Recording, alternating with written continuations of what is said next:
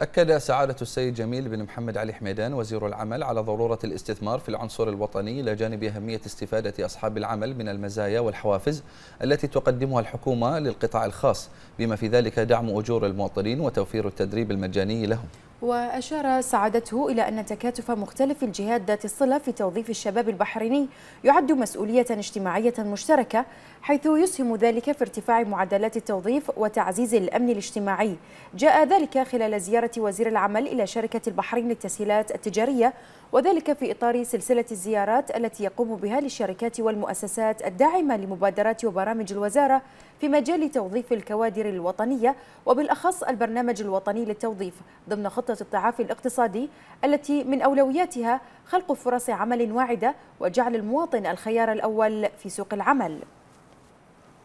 كما التقى سعادة الوزير بعدد من العاملين بالشركة واستمع إلى قصص نجاحهم ووصولهم إلى وظائف عليا بالشركة مشددا على أهمية إبراز هذه النماذج التي تؤكد قدرة الشباب البحريني على إدراج على إدارة الإنتاج في العديد من المناصب الإدارية والإشرافية في منشآت القطاع الخاص.